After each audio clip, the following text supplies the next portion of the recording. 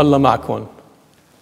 بيقول المفكر الفرنسي بليز باسكال البشر على نوعين. منهم خطأ ومفكرين حالهم أبرار ومنهم أبرار ومفكرين حالهم خطأ. أما وقعنا فهو غير. نحن كلنا خطأ وعم نسعى لنصير أبرار عم نسعى للقداسة. كلنا مدعوين للقداسة إنما هيدي القداسة إلى طريقة وإلى طريقتها. بالنعمة الإلهية المقرونة بالأعمال الصالحة بنقدر نحققها.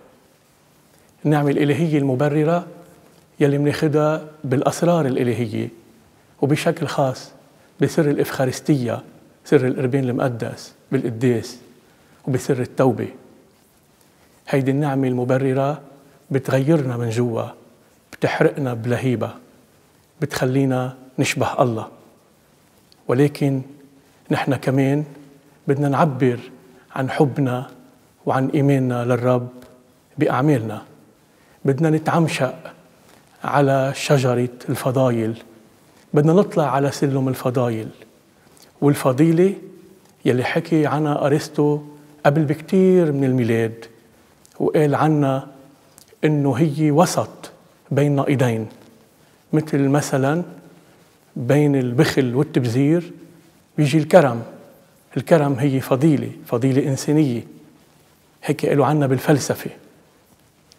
المسيحية أخذت فكر أرسطو بهالمجال هيدا وعمدته ومسحنته وقالت إنه الفضيلة هي استعداد العقل والإرادة حتى نعمل الخير المطلوب.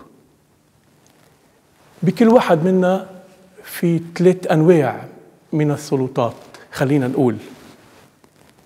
في سلطة العقل يلي هي السلطة التشريعية ولكن مش قائمة بذاتها. مسيحيا خاضعة للإنجيل دستور الحياة. خاضعة لتعليم الكنيسة. لوصايا الله طبعا وصايا الكنيسة.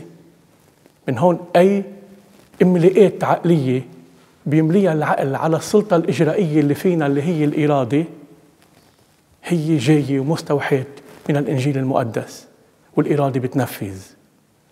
تجي الفضيلة هون بتخلي الإرادة تستعد أكثر لحتى تتلقى أوامر السلطة التشريعية اللي فينا الخاضعة للإنجيل وتنفذها والسلطة القضائية اللي فينا هي الضمير. الضمير يلي بيقول شو الصح وشو الغلط يلي بيحكم بين الحق والباطل. هيدا الضمير هو صوت الله فينا. تقسم الكنيسة الفضايل قسمين. الفضائل الإنسانية يلي هن استعداد عادي لعمل الخير. وهون في كمان الفضائل الإنسانية المحورية أو الأساسية اللي هن أربعة الفطنة والعدل والقوة والاعتدال.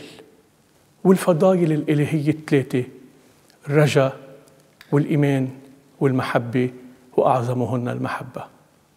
إذا بدك توصل على السماء بدك تخلي النعمة الإلهية تتفاعل بحياتك وتتفاعل أنت معها وتقرنها بعمل الفضيلة لحتى تكون إنسان فاضل وفضيل وقديس.